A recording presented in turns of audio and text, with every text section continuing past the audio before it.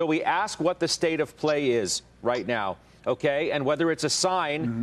that the rally itself is weakening. I'll point it out, okay?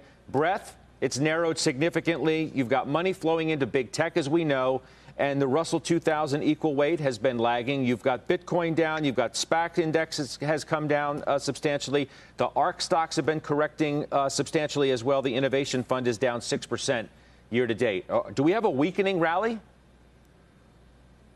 Um, I think we've got a pause right now, Scott. Uh, I don't think we've got a weakening rally. I think the pause is just that uh, the real tech drivers are coming in a couple weeks. They're not here this week.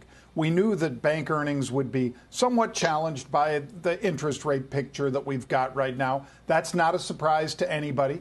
Um, and they did not make significant corrections or anything. They had been somewhat, you know, meandering into the earnings themselves. And I, I, think, Scott, it's really more about the consumer and how this spending is working. I mean, looking at, uh, I think yesterday we talked about how many records Target has set day after day after day. Obviously, demand being the driver there.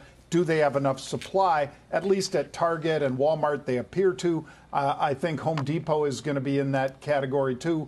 Uh, but I think the the issue here is that reopening, yeah, there's been a lot of that, and we know that according to uh, Moynihan over at Bank America, only about 30% of the money uh, that people got in those direct deposited checks into Bank America has been spent. So that tells me, Scott, that we are indeed looking at not transitory, but years worth of demand out there uh, that people have the ability to spend. And, you know, spend they have. Restaurants, 40% this June over last June. And yet we know last June was locked down. But how about this number?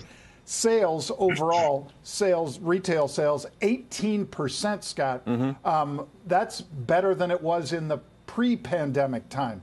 So obviously, all this money sloshing around, to Jeff's point yesterday, Gundlach, was that it's looking for a home. Um, in many cases, consumers have found that to be uh, at stores. Um, not so much at furniture because they can't get it. Not so much at appliances because they can't get them.